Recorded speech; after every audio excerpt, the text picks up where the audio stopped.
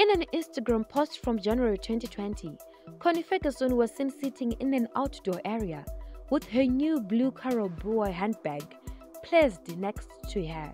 The actress and businesswoman also wore a 60,000 rand diamond ring from Gemma Fine, a silver watch, and silver studded earrings. The Carol Boy handbag doesn't come cheap for a regular South African. They range from 15,000 to 20,000 rand.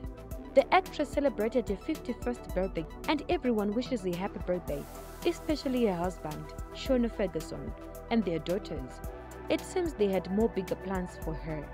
She shared a picture of an Aston Martin wrapped and thanked her husband. I still have no words, still catching my breath. Ferguson films, you're not one of a kind. You are the kind. We understand her being speechless. What a way to celebrate the new age. This is the silver vehicle featured in the James Bond movies. As she was turning 50 in 2020, Connie posted a video showing off their hard work. This after she posted an aerial video of their mansion and collection of cars, which included a G-Wagon.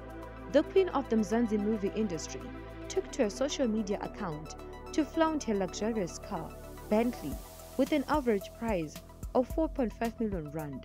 The car made its debut on social media to the delight of fans.